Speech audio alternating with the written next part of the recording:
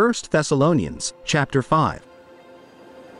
Now, brothers and sisters, about times and dates we do not need to write to you, for you know very well that the day of the Lord will come like a thief in the night.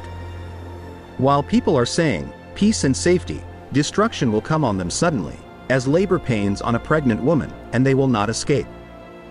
But you, brothers and sisters, are not in darkness so that this day should surprise you like a thief.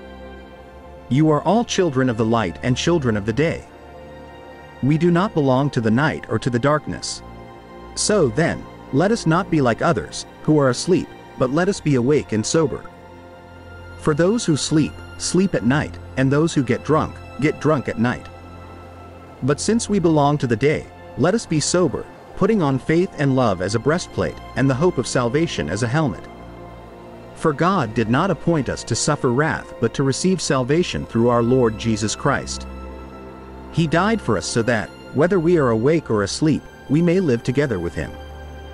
Therefore encourage one another and build each other up, just as in fact you are doing. Now we ask you, brothers and sisters, to acknowledge those who work hard among you, who care for you in the Lord and who admonish you. Hold them in the highest regard and love because of their work. Live in peace with each other. And we urge you, brothers and sisters, warn those who are idle and disruptive, encourage the disheartened, help the weak, be patient with everyone. Make sure that nobody pays back wrong for wrong, but always strive to do what is good for each other and for everyone else.